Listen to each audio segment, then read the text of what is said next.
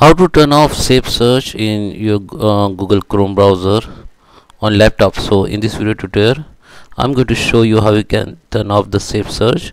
There is a two setting one on your chrome browser and another your window.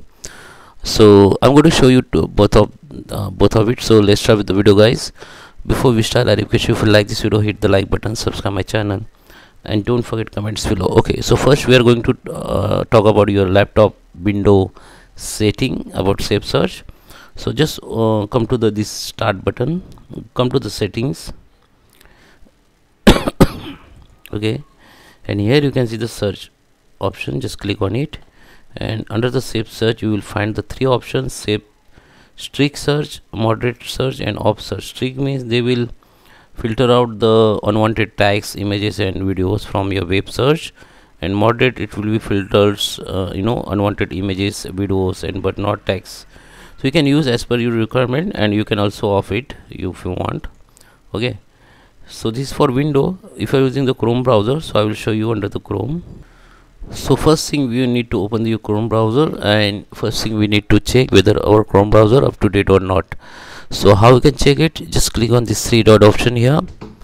Go to the help go to the about google chrome here and you can see the option here and here chrome shows if your up to browser up to date or not.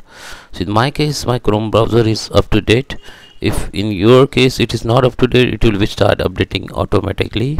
And after update you will see option here for relaunch. Just click relaunch and it will be relaunch okay so now we are going to talk about the safe search. How can turn off it? Just click on this three dot option.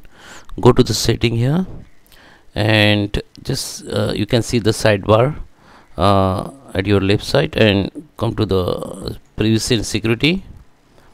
And just scroll down and you can see the security option here. So under security option you can see the safe browsing. So as per as so as window there is a three option. Same as window there is a three option only which is enhanced protection and standard protection and no protection.